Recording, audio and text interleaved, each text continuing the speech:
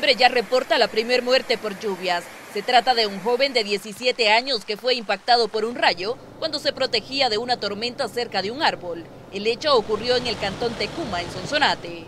A la fecha ya se reportan 46 fallecidos durante la época invernal, mientras que el país continúa bajo alerta estratificada por precipitaciones. Son 24 municipios bajo alerta roja y verde en el resto del país. Hemos tenido lluvias en la mayor parte del país generadas por un núcleo de tormenta que básicamente ingresó del de este a oeste, del departamento de la Unión hasta salir allá por la zona de Aguachapán. Estas son lluvias propias de la época, ¿verdad? Insisto, no ha tenido relación directa con Lisa. Hay que recordar que como país definitivamente somos un país altamente vulnerable y a partir de esa consideración nuestros equipos siguen desplegados.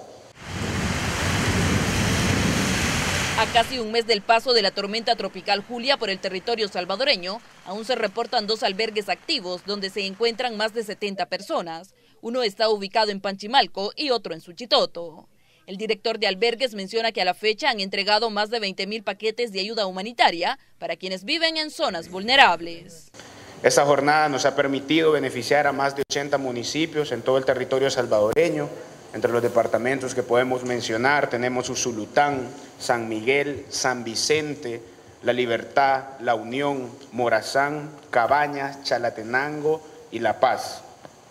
Cada paquete alimenticio incluye lo que es leche, frijoles, arroz, azúcar, pasta, avena, aceite, harina de maíz, atún y sopas. Se espera que la época lluviosa finalice la segunda quincena de noviembre, aunque no descartan lluvias aisladas hasta la primera semana de diciembre, por lo que las autoridades piden mantenerse alerta ante cualquier emergencia.